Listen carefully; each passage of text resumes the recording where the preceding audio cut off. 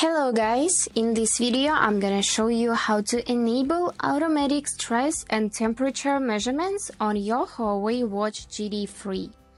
Let's get started! But first, don't forget to follow to see more useful content. So, if you want these features to be measured automatically, it can be done via Huawei Health app on your phone.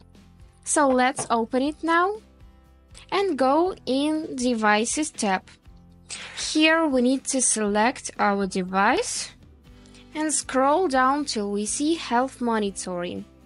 And now as you can see most of the functions are disabled and we need to enable automatic stress test by clicking it just like this and go back to enable continuous skin temperature measurement just like this as well and that's all now your watch will be automatically measuring your skin temperature and stress test. So I hope this video was helpful for you and thank you so much for watching.